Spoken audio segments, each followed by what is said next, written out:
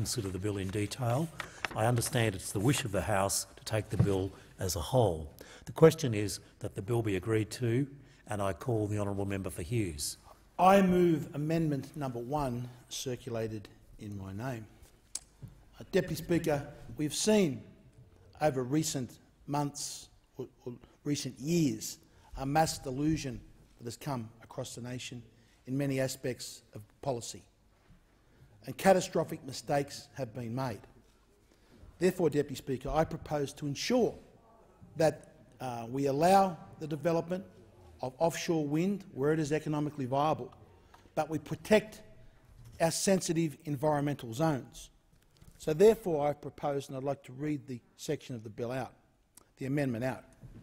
Without limiting the circumstances in which an area is not suitable for offshore renewable energy infrastructure, an area is not suitable for offshore renewable energy infrastructure if any part of that area is in the following marine parks.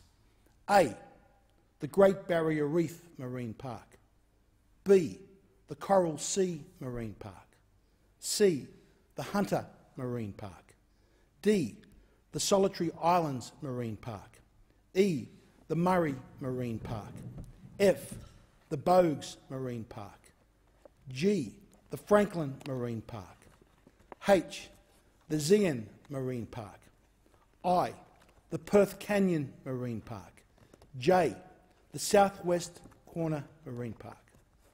The purpose of this amendment would be to protect those marine parks that we have around our coastal waters so that large industrial-scale wind turbines made of steel and fiberglass up to 260 metres high cannot be built in those areas and cannot be bolted down into the seabed in a marine park. This is the opportunity, Mr Speaker, for members of this House to stand up and show they truly want to protect those marine parks that we have, those magnificent marine parks around our nation. They should be free of these large-scale industrial wind turbines, and I commend this amendment to the House. I would hope that it has full support. The question is that the amendment be disagreed to. All those of that opinion say aye. aye. The contrary, no. I think the ayes have it. The ayes have it. If the um, honourable member for Hughes wishes his um, vote to be recorded in the Hansard proceedings, he can request that. I request that the vote, my vote thank, I thank the member be recorded for Hughes. in the Hansard proceedings. I call the member